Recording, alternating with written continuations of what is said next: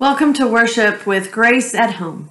We pray that you are blessed on this Memorial Day weekend as we worship together our risen Lord. Please join me in the call to worship. Come, let us celebrate on this Lord's Day. Shout to God and clap your hands and make sounds of joy.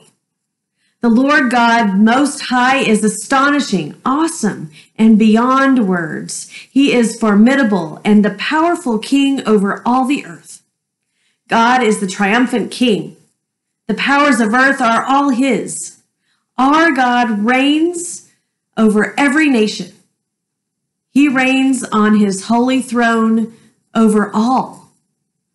So sing celebration songs of highest praise to the glorious one. Let us worship God.